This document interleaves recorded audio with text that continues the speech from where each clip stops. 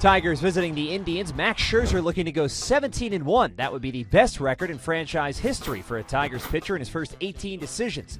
Bottom one, he caps a 1 2 3 frame with his 1,000th career strikeout. He gets Jason Kipnis swinging. Top three after Zach McAllister walked in a run, Prince Fielder's up with the bases loaded.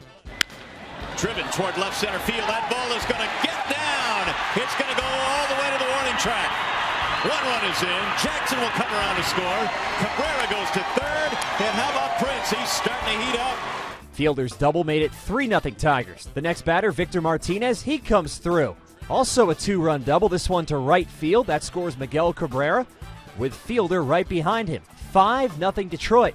McAllister would only face one more batter. He was pulled as the Tigers put up a six spot in the third. Now top fourth, 7 0 Tigers. Preston Guilmet pitching.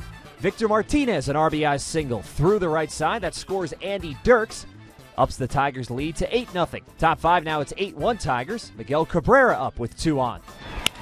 Line drive to left. That's a base hit. That'll get another run in. This is going to go all the way to the wall. It might score two. Perez coming to third. They send him home.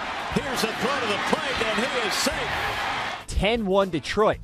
Now, top of the seventh inning. It's 10 2 Detroit. Cabrera up again with two runners on. He lines a pitcher Matt Albers into center, but Michael Bourn keeps it from falling in. His great catch ends the inning. Bottom of the seventh inning, Scherzer working on Mike Aviles. He strikes him out to end his night. Scherzer went seven, allowing four hits, two earned runs. He struck out five and walked one. Top nine still 10 2 Detroit. It's former Tiger Ryan Raburn called on to pitch. His 1 2 3 inning included a strikeout of Matt Tuiasosopo.